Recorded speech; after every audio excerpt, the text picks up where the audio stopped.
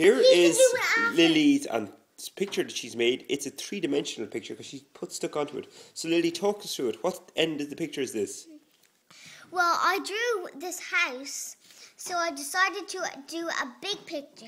So I did a roof, and I put some tiles in the top. You can see that. I see the tiles. And They're then brilliant there's, there's tiles. a tree. So there's, There's They're a tree. great tiles. There's a tree. Okay. There's a tree. Thomas, thank So- you. so there's a tree and some birds flying in the air. Oh, Lilly, that is And wonderful. then- and what's this over here, Lil? Great thing. This is a cloud. A cloud. Oh, wow, Lilly. Lilly broke And the what's this? Uh, this is a mum walking a baby. Who's the baby? Liam Liam. And what's the baby doing? crying, Crying. Look at his little tears. And why is he crying, Lilly?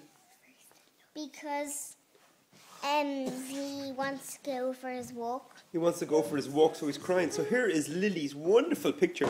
And just to put in perspective, this is the size of it. Lilly, when did you do this picture? I started it yesterday. Yeah? I did the house and the sun and everything yesterday. I helped And then her. I did the, the person and the trees and that day. Lilly, helped you are fantastic. I helped And you helped her. Look And at where, my brand new ball. and where are you going now? Where are you going now? What? He's Oh, going to Mini World Cup. And what country are you? Cuba. Cuba. And who are you playing today? Um, I don't know. No, very good.